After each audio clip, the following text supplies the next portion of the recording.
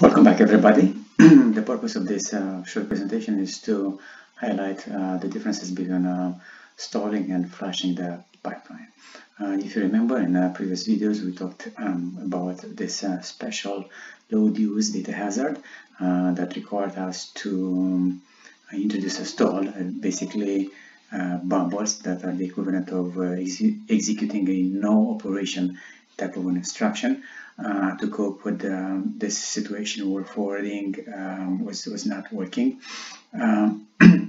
so introducing this um, um, stall uh, could be done by uh, forcing control values in the instruction decode slash execute register to um, zero, uh, which will then be uh, propagated through the pipeline stages of uh, execute, memory, and write back that uh, having this uh, control values zero will translate into those pipeline stages being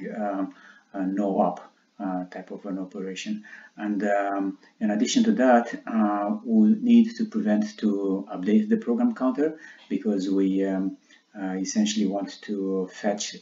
the instruction um, um, again and uh, also to prevent the instruction fetch instruction decode register to be uh, up updated. And in this way uh, the using uh, instruction that participates in this uh, type of a data hazard would be decoded again. Um, and um, as a result would have a one cycle stall that allows for the memory to stage of, of, the pipeline to read the data for, for the load instruction. uh, that could uh, then subsequently forward to the execution uh, stage. Now, the other type of uh, hazard that we talked about uh, is the branch or control hazard that happens in cases where we have uh, control instructions, like for example, this branch equal type of instruction, whose outcome about branching to some, some address to, to, this instruction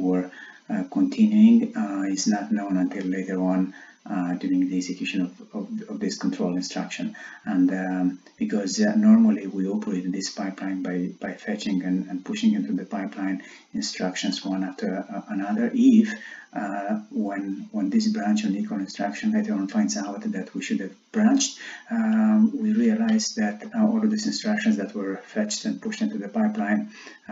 was was was incorrect and, and we had to flush them, essentially discard uh, everything that has been done about those um, uh, instructions. So uh, how flushing is implemented? Uh, we introduce a new control signal, uh, flush to reset the instruction uh, fetch slash uh, instruction decode register and we uh, zero uh, or reset all the control lines. This is similar to, to stall except that in this case there is no need to disable the program counter um, in order to, to fetch the, the same instruction. Uh, we don't need to disable the instruction uh, fetch slash instruction decode register either in order to, to be decoding the same instruction like we did during the stall and introduce a bubble in that way. Instead, in, in this case, we only need to update the program counter uh, with the address of the instruction where we actually need to branch. Otherwise, no memory or register writes will have uh, happen, so everything else is um, okay. Um,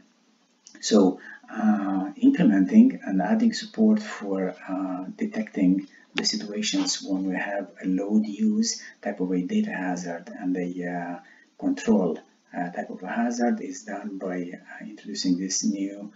element or component into our processor architecture that we uh, developed so far called uh, the hazard detection unit that is responsible with uh, detecting all the conditions that, that uh, um, require uh, the introduction of a stall or the introduction of a flush. When we need to introduce a stall, the hazard detection unit would disable the program counter and the instruction fetch slash instruction decode register and would set um, the control signals to uh, zeros when there is a need uh, or a situation of, of um, a uh, hazard um, uh, because of a control uh, type of a or branch type of a situation, the hazard detection unit would need to to flush uh, to this uh, new control signal the IF slash ID uh, register, uh, set again the control signals to zero, and uh, control this multiplexer so that the program counter is updated with the address to which we need to, to, to jump and, and, fetch instructions from that branching um, address.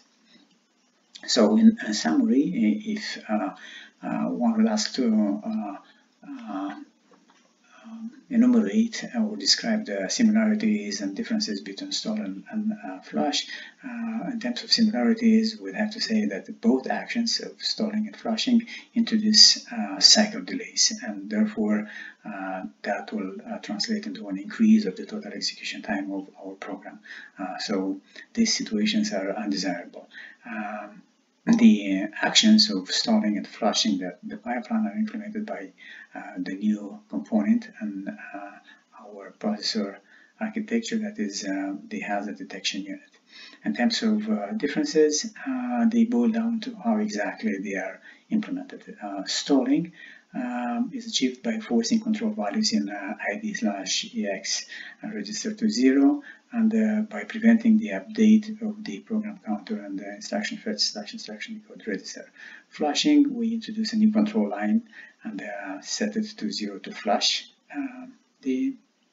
IF slash ID register. We uh, also zero all the control lines and uh, set the program counter with the address where we need to, to branch through, through that multiplexer that we have just in front of the program counter. And um, that's pretty much it. Um,